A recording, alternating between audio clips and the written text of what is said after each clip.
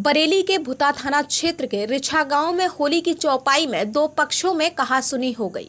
एक पक्ष के एक व्यक्ति को पुलिस ने हिरासत में ले लिया, वहीं दूसरे पक्ष ने एक पक्ष के व्यक्ति के गोली मार दी, जिससे वो घायल हो गया। अभी मामला शांत भी नहीं हुआ था, तभी घर में घुसकर गर्भवती महिला को भी जमकर पीटा। दोनों पति पत्नी का उपचार हो रहा है। सुबह को घर में घुसकर विपिन की गर्भवती पत्नी विनीता शर्मा को जमकर पीटा।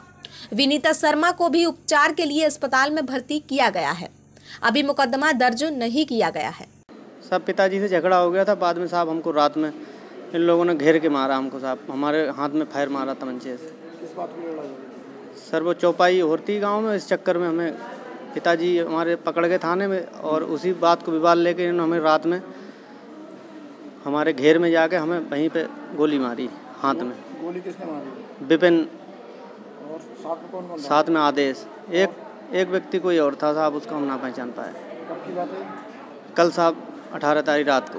रात में गोली कब मारी? रात को करीब बारह बजे के टाइम पे। उसके बाद फिर क्या हुआ?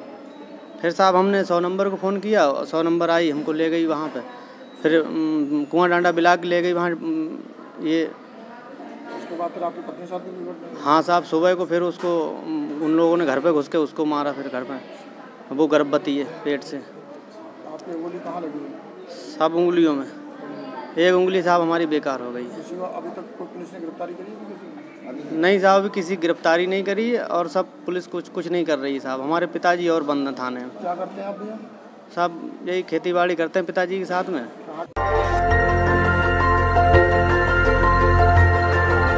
देखते रहिए डीबी भारती समाचार। नज़र हर खबर।